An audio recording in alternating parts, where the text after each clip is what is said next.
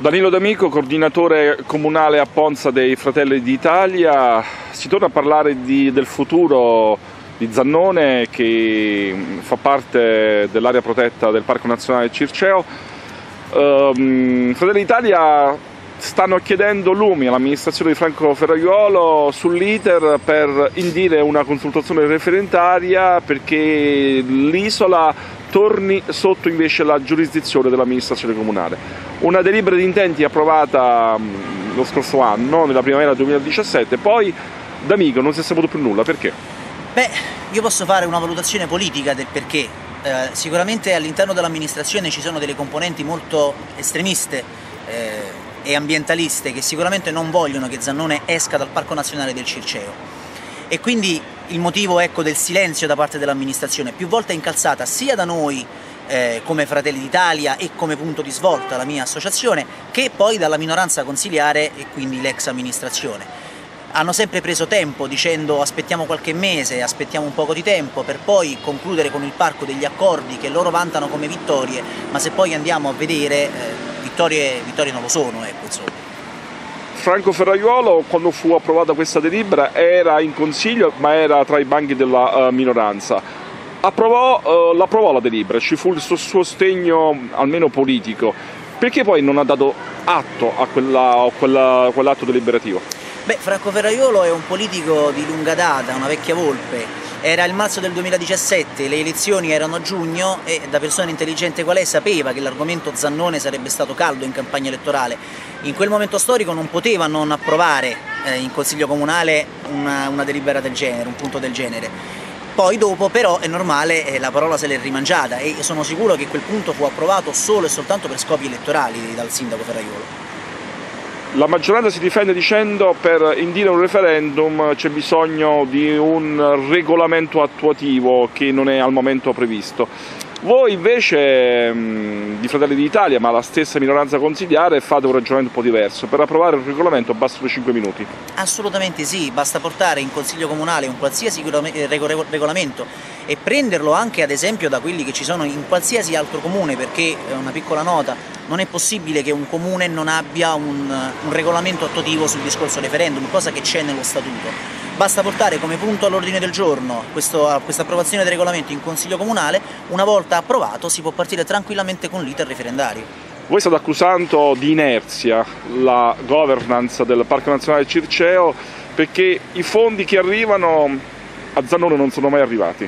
Ma assolutamente no, ma questa è una storia che parte da lontano Zannone è stata ceduta al Parco del Circeo nel 1979 e il sindaco all'epoca era Franco Ferraiuolo.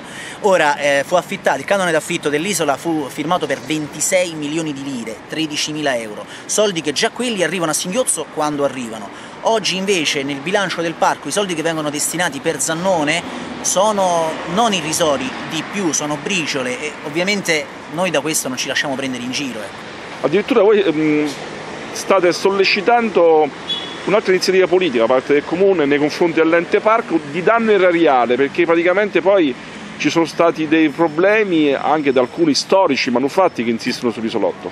Assolutamente, sull'isola c'è um, l'esempio emblematico, è sicuramente quello della casa di caccia, come la, come la, chiamiamo noi, la villa del Marchese Casati, che da quando non, ha, non, non ospita più eh, l'isola di Sandone, da quando non ospita più il guardiano, perché prima c'era, eh, l'isola è caduta completamente in rovina e non solo l'isola, flora e fauna dell'isola eh, sono quasi annullate, esempio i mufloni che furono importati lì eh, molti e molti anni fa, oggi sono quasi estinti, rimangono soltanto pochissimi esemplari. Naturalmente questa vostra istanza ha anche una ragione di natura sociale, economica e occupazionale, voi dite a, a Ponza da settembre non c'è più nulla e ehm, il ritorno di Zannone sotto la giurisdizione e la competenza del comune può servire a fare cosa?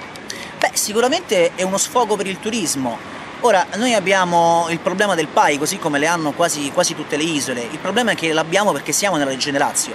Il PAI della Regione Lazio è il più restrittivo che ci sia in Italia e hanno dichiarato quando fu istituito questo quest'ente il 97% delle nostre coste inagibili. Ora voi capite che eh, con un'isola che vive di turismo ad avere il 97% delle sue coste chiuse, questo è un grosso problema. Ecco, e Zannone potrebbe essere un diversivo? Assolutamente sì, perché Zannone non è soggetto al PAI e potrebbe essere un ottimo sfogo per il turismo, in primis, e soprattutto potrebbe dar lavoro a una cooperativa di giovani che purtroppo d'inverno non lavorano e quell'isola potrebbe dargli lavoro anche 6-7 mesi l'anno.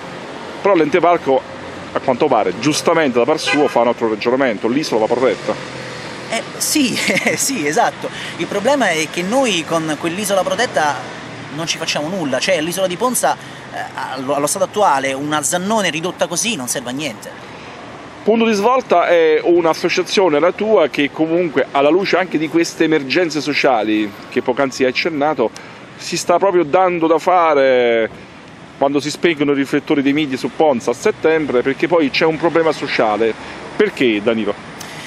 Beh, soffriamo l'abbandono, un po' come tutte le isole e la mia associazione che ho creato l'anno scorso, anche se amo definirla più un movimento, eh, si occupa proprio di questo. Un esempio, eh, le stradine di Ponza sono molto piccole, un'ambulanza canonica, un'ambulanza standard non ci va.